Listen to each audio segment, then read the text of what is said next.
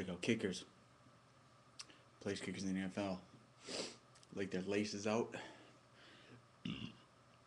I, when I do malt liquor videos, I prefer to keep the label out.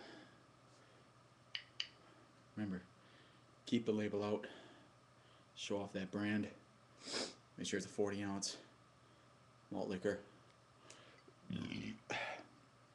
Shout out to everyone viewing my videos. Shout out to all my subscribers.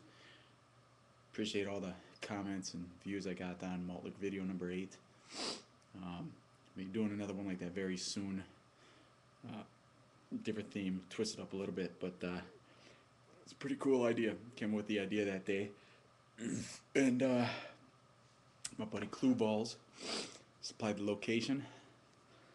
Uh, the AR. I had the Krispy Kreme hat.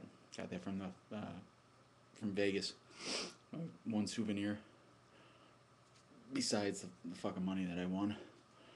Um, so, like I said, appreciate all the comments. Uh, this is just your basic, basic video of me drinking. Uh, my goal is to get one down in under two minutes. It's being a tough task. So this is uh,